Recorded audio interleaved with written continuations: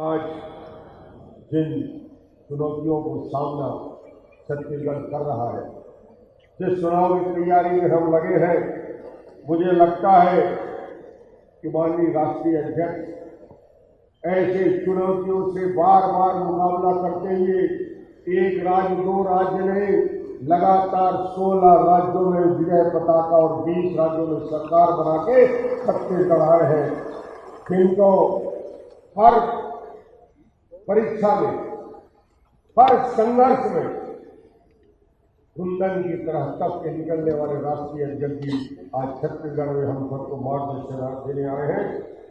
माननीय राष्ट्रीय अध्यक्ष जी, अपने यशस्वी हाथ से हज़ारों हज़ारों कार्यकर्ताओं को आने वाले 2018 के चुनाव के राज अपने हाथ से आपके माथे में करने वाले हैं। इसलिए राष्ट्रीय अध्यक्ष जी का मैं स्वागत करता हूँ। किसी व्यक्ति को यश ऐसे नहीं मिलता।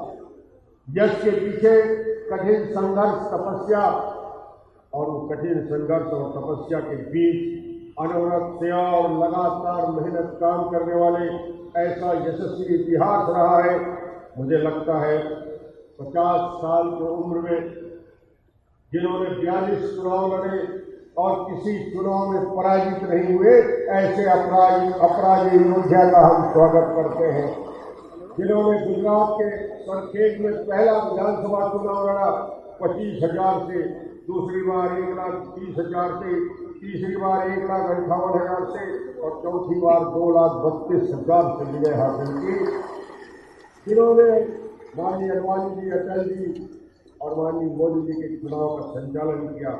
एशिया के सबसे बड़े सहकारी बैंक, अहमदाबाद बैंक, जिला सहकारी बैंक को घाटे से उबार कर जिसकी चर्चा पूरे देश और दुनिया में रही।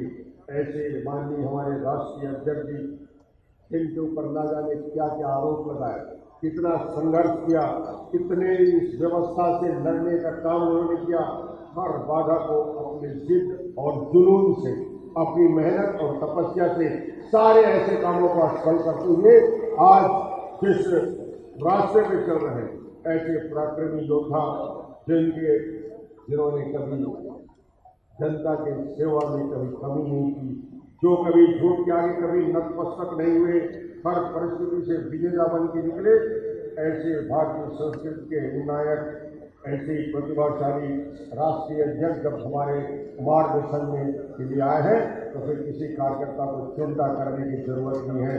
विजय सामने है, मेहनत आपको करना है।